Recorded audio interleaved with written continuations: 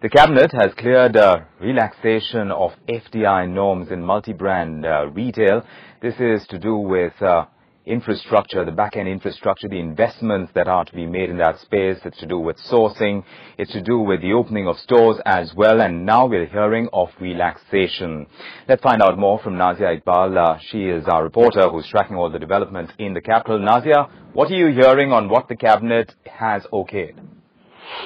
Well, yes, it is a huge news coming right now, but as of now, the cabinet has cleared mainly the cap in FDI uh, in different sectors, the relaxation of cap that was that is what was started from the finance ministry, a team who had set a report saying that if they relax the cap in different sectors, we will see more investments coming in the country. It included even um, even sectors like telecom and defense where they said that to increase the cap so that we see more people coming in and investing in the country. Now that report has finally come to its uh, finality by saying that yes, we will increase the cap. Now the, the sectors that have seen increase include important sectors like telecom, defense and also retail in FDI which has of late or uh, even when it began became a huge political issue as well. Now, uh, now FDI multi-brand retail has been increased from a 51% to a 74%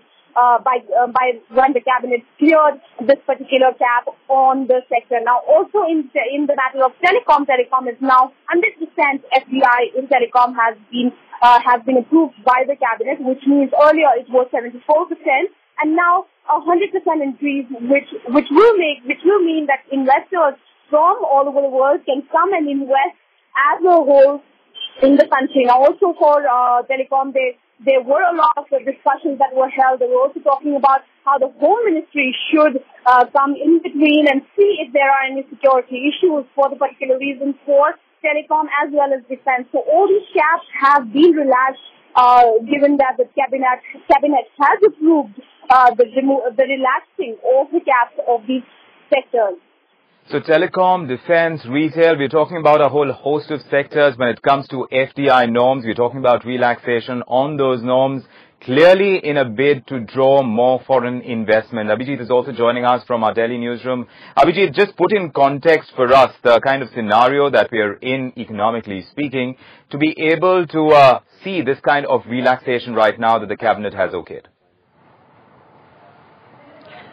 Well, you know, uh if you look at uh, the governor's speech yesterday, I mean, day before on the monetary policy, he's made it very clear that the, the temporary measures that the RBI is taking, and I, am using the word temporary, the governor did not, the measures that the RBI has taken essentially to shore up the rupee uh, can, can at best be uh, short term in a way because at the end of the day, there are fundamental issues with the economy. The CAD is a problem.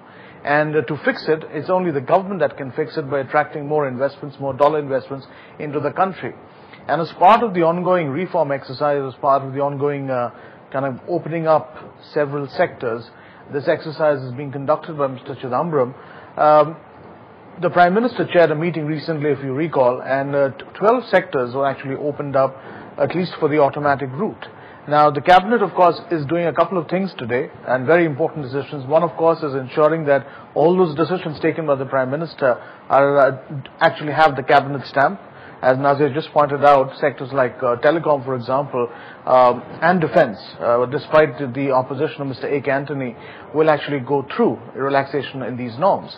Crucially, uh, there, there, were some sectors which were problem sectors. For example, uh, FDI in multi-brand retail and civil aviation. We still don't know what will happen to civil aviation, but as far as FDI in uh, multi-brand retail is concerned, remember the cap is 51%, but a lot of these players, like, you know, the Walmarts, the Tesco's, and the Carrefours of the world, who are otherwise big retail players, they, they had made it very clear to the Indian authorities that, look, you know, with the kind of norms that are in place, we're not just going to come in. As simple as that. And Walmart going so far as to say that your sourcing norm of sourcing 30% from MSMEs is something we just can't do. We can at best do 20%. So what was on the cards today? The cabinet wanted or wants to ensure that these players come in with more dollar funds and therefore a dilution of these norms was on the cards, which is exactly what the cabinet has done. I will, in a minute, of course, go through what these dilutions uh, are, but that is the broad thrust of the cabinet uh, decision today. There are, of course, other minor decisions taken, minor but important decisions. They've cleared the rail tariff authority. Remember, that is a big, big uh, step forward in terms of pricing of rail fares.